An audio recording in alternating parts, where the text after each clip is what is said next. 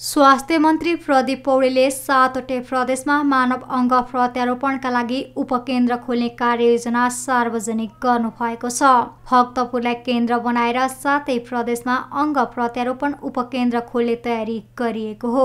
हालसम्म कर्णालीको सुर्खेत र गण्डकीको पोखरामा उक्त सेवा विस्तार भइसकेको छ।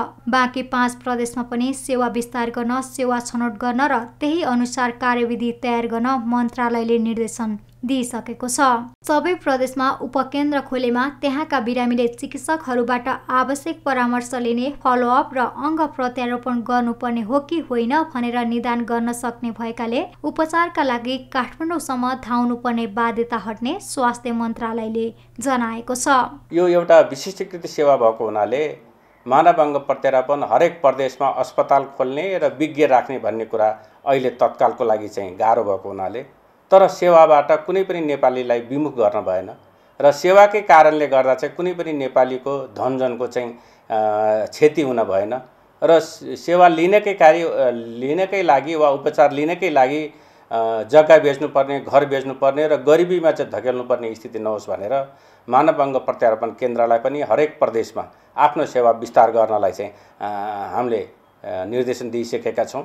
सरसल्लाह दिने फलोअप गर्ने र अङ्ग प्रत्यारोपण गर्नुपर्ने हो कि होइन भनेर निदान गर्न सक्ने क्षमताको चाहिँ सेवा विस्तार चाहिँ गर्ने गरी चाहिँ कार्य अघि बढिरहेको छ। मानव अङ्ग प्रत्यारोपण आफैमा जटिल प्रक्रिया हुने भएकाले यस्ता केन्द्रहरू खोल्न विशिष्ट किसिमको जनशक्ति र पूर्वाधारको आवश्यकता पर्छ। विश्वमा नै हेर्ने हो भने सीमित अस्पतालहरूबाट मात्रै यी सेवाहरू उपलब्ध गराइन्छ।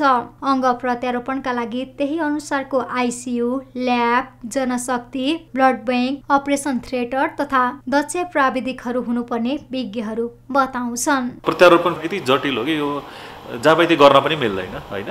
यो चाहिँ संसारभरि त्यस्तै नै नियम हुन्छ। हामी एउटा सिस्टम भनौँ न त्यहाँ पनि एकदम सेलेक्टेड सेलेक्टेड हस्पिटलमा मात्र यो चाहिँ गर्न मिल्छ। यसको लागि पनि सबै स्पेसियालिटीहरू चाहिँ उत्तिकै इम्पोर्टेन्स हुन्छ क्या। तपाईँको आइसियु पनि त्यस्तै राम्रो हुनु पऱ्यो ल्याब पनि त्यस्तै राम्रो हुनु पऱ्यो रेडियोलोजीको सर्भिसहरू राम्रो हुनु पऱ्यो होइन? अरू अरू चाहिँ स्पेसियालिटीहरू कार्डियाक रेस्पी सबैको चाहिँ एकदमै सपोर्ट चाहिने हुन्छ। अङ्ग प्रत्यारोपण गराउने बिरामीको सङ्ख्या बढ्दो छ तर नेपालमा प्रत्यारोपण गराउने अस्पताल सीमित हुँदा धेरै मानिसहरू उपचारको पहुँच बाहिर छन्। सबै नागरिकलाई उपचारको पहुँचमा पुर्याउन र जनचेतना अभिवृद्धि गर्नुका साथै सातै प्रदेशमा अङ्ग प्रत्यारोपण केन्द्रहरू विस्तार गर्नु आवश्यक छ। त्यसका लागि मानव अङ्ग प्रत्यारोपण केन्द्रले सरकारको नीति अनुसार काम गरिरहेको बताएको छ।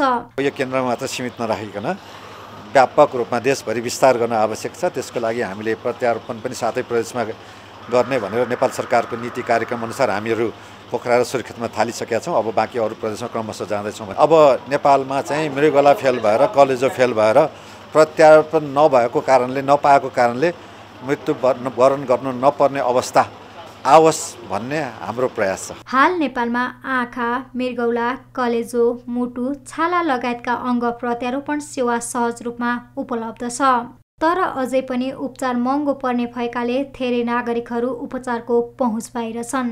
अहिले काठमाडौँ उपत्यका बाहिरका केही अस्पताल र त्रिवी शिक्षण अस्पताल पीर अस्पताल गङ्गालाल मानव अङ्ग प्रत्यारोपण केन्द्र लगायत विभिन्न निजी अस्पतालले पनि अङ्ग प्रत्यारोपण सुरु गरिसकेका छन्।